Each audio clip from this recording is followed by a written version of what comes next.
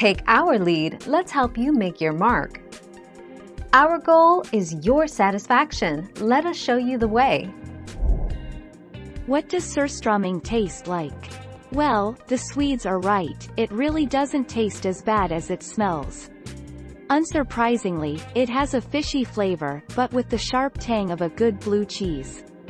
It certainly is an acquired taste, but most Swedes love it, and you may well come to enjoy it as well. 15 July 2019.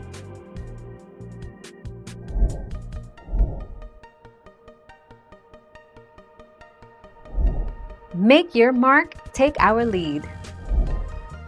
5 foods and drinks that affect body odor. Cruciferous vegetables. Broccoli, cauliflower, cabbage and kale are just a few of the more popular cruciferous vegetables. Asparagus. Eating asparagus can result in urine that smells like rotten cabbage due to sulfur compounds. Garlic, onions, cumin and curry. Seafood. Alcohol, the 29th of January 2019. Thank you for watching. Please subscribe and hit the bell notification.